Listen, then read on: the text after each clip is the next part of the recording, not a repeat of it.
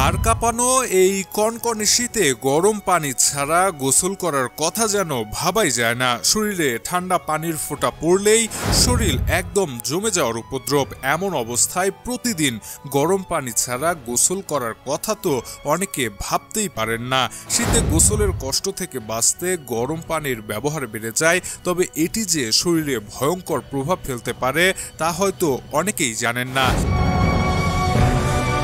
চর্ম বিশেষজ্ঞরা জানিয়েছে, গরম পানি দিয়ে গোসল শরীরের জন্য খুব একটা ভালো না। নিয়মিত কেউ গরম পানিতে গোসল করলে মারাত্মক ক্ষতি হতে পারে। গরম পানি দিয়ে নিয়মিত গোসল ত্বকের ফলিকগুলোকে নষ্ট করে দেয়। পানি কুসুম গরম না হয়ে একটু বেশি গরম হয়ে গেলে তা কিন্তু আরও বিপজ্জনক। মাথায় অতিরিক্ত গরম পানির ব্যবহারে চুল ক্ষতিগ্রস্ত হয়। এছাড়া মস্তিষ্কের উপর চাপ সৃষ্টি হয় এবং রক্তচাপও বেড়ে যায়। অতিরিক্ত গরম পানি ব্যবহার করলে মুখে ব্রণ হয়। হৃদরোগ বিশেষজ্ঞদের পরামর্শ মতে, যারা হার্টের সমস্যায় ভুগছেন, তাদের গরম পানি দিয়ে গোসল করা অত্যন্ত ঝুঁকিপূর্ণ। এছাড়া গরম পানি দিয়ে গোসল করলে মানসিক বিষণ্ণতায় ভোগা ব্যক্তিদের উপরে আরও খারাপ প্রভাব পড়তে পারে। এত কিছুর পরেও কি এই শীতে গরম পানি দিয়ে গোসল করবেন? তাহলে সিদ্ধান্তটা আপনার।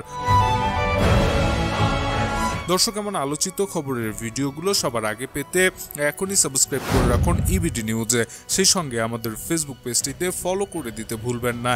কথা হবে পরবর্তী ভিডিওতে। সে পর্যন্ত ভালো থাকবেন। ধন্যবাদ।